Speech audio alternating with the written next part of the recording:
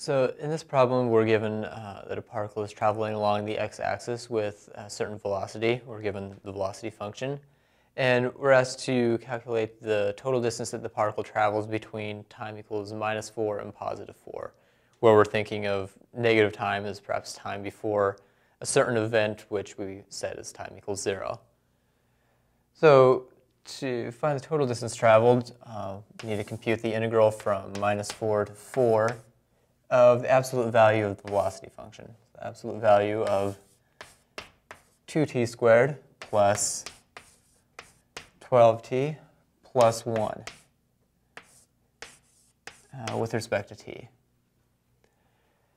Now, the easiest way to do this is just to break up the velocity function um, into the parts where it's positive and negative. So to do that, we would um, need to find the piecewise definition for um, v of t and, uh, or for, excuse me, for absolute value of v of t. Uh, of course, just on the interval negative 4 to positive 4. Uh, let's set v of t equal to 0. So if we set v of t, which is equal to 2t squared plus 12t plus 1 um, equal to 0, uh, now we just need to solve for t using the quadratic equation.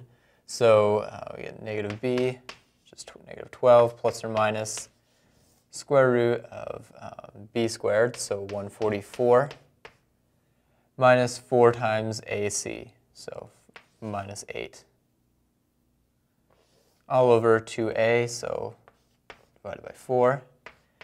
And this simplifies to minus 3 plus or minus 2.915.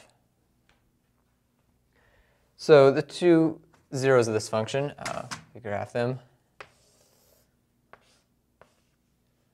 are, well, negative 3 minus 2.915, so um, it's be negative 5.915. And over here we'll have uh, negative 3 plus 2, uh, plus 2.915, so uh, negative 0 uh, 0.085. Now what we need to do is pick a sample point in um, each of these intervals and determine whether the function is whether v of t is positive or negative. And since these are the only points where v of t can cross the x-axis and v of t is continuous, we know that um, it'll be positive, either positive or negative on each of these intervals, but not both. So let's pick a sample point that's less than um, negative 5.915. How about, uh, let's say t equals negative 6. So v of negative 6 is going to be equal to uh, 2 times uh, 36, so 72, plus, uh, 12 times negative 6, so minus 72, plus 1, uh, that's just equal to 1, which is greater than 0. So it's positive on the interval uh, negative infinity to negative 5.915. Uh, let's pick, say, how about negative point or negative one um, is a sample point for the interval uh, between the two zeros of the function. So v of negative 1 is uh, 2 plus 12 times minus 1, so 2 minus 12 plus 1. Uh, that ends up being minus 9, which is less than 0. And finally, we need to pick a um, point our sample point in the interval negative 0.085 to infinity. Uh, the easiest point is 0, so let's just compute v of 0. Uh, v of 0, um, uh, the two first two terms go to 0, so we're just left with 1, which is greater than 0. So we can use this, um, this uh, graph to draw or to figure out what the piecewise uh, definition of absolute value of v of t is. So if v is less than negative 5.915, then uh, the function is positive, so we can just drop the absolute value signs. Uh, let me write this, draw this picture over here so I have more room to write the function.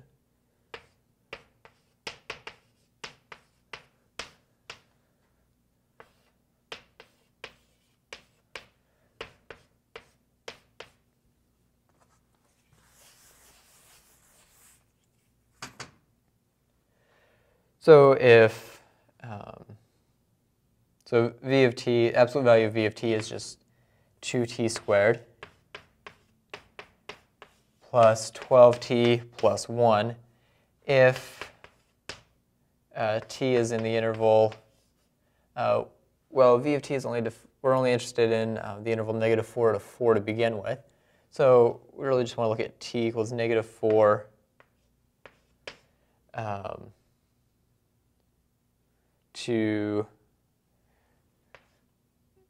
negative 5.915. And if t is in the interval um, negative 5.915 to negative 0.085, then, then it's going to be negative, so the absolute value is just negative vt. So, um, so negative 2t squared, negative 12t negative 1 if is in the interval negative, um, I realize I just wrote this interval backwards. This should be um,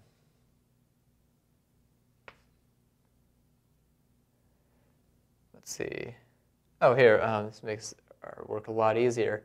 We're only interested in values from negative 4 to positive 4. So negative 4 is over here. So we really don't need to worry about this. So I'll just leave that blank for now. We can use it in the next part of the, um, or calculating the absolute value of v of t when v is greater, or when t is greater than 0.085. But here, when we're in this interval, t is um, definitely negative. So if t is between negative 4 and negative point, or uh, negative 0.085,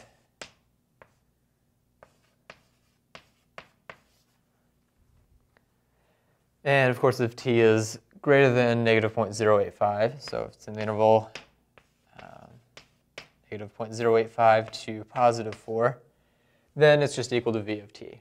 So we really only have that one zero to worry about.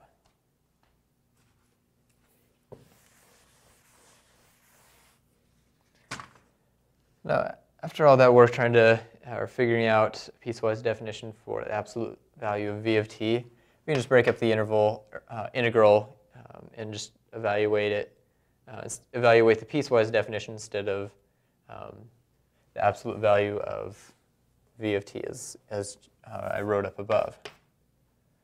So now that we've found an expression for the absolute value of v of t, we can just split this um, integral up into two different parts, one where the absolute value, or one where the um, inside of the absolute value is positive and one where it's negative. So we know it's negative between negative 4 and negative 0.085. And uh, so then we want to integrate negative 2t squared minus 12t minus 1 dt.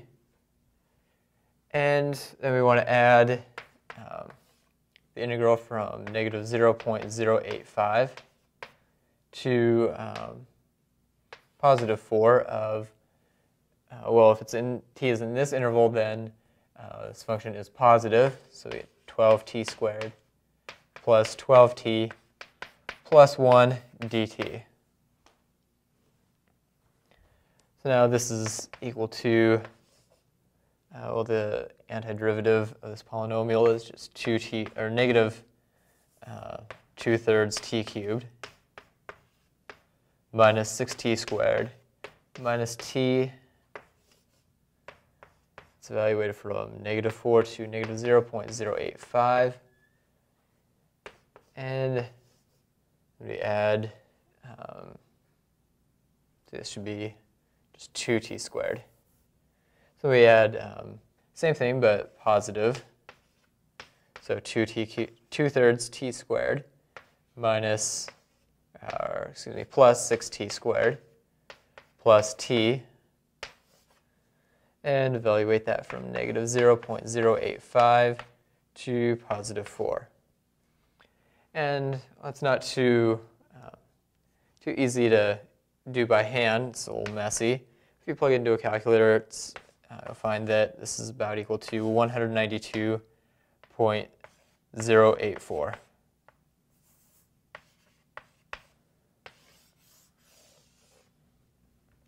So in terms of the original statement of the problem, this means that the particle has traveled a total distance, not a displacement, but distance, so counting distance traveled in the positive and negative direction of 192.084 units, whether your units be meters or feet, whatever. We know that it's traveled 192.084